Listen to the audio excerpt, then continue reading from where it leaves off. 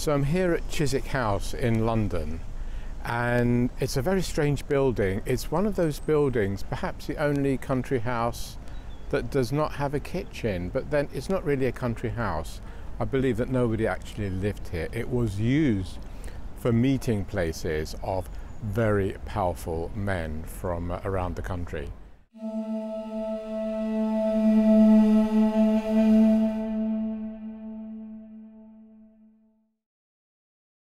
They got together to uh, decide laws and uh, what to do with the slaves and uh, Londoners and people.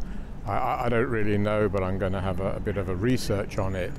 But the the geometry of the building is really quite uh, interesting, and uh, lots of sacred geometry, of course, lots of compass images, a lot of Roman statues. So all about the masculine and power and there were quite a few um, paintings all over the house.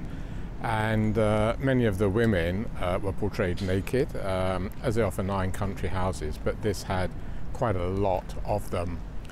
So uh, and the atmosphere well it's, um, it's, it's a strange kind of atmosphere. You can really feel that masculine power and control just still emanating from the walls as if you could hear uh, the men still meeting and talking and so on. So, um, yeah, there we go, Chiswick House, London.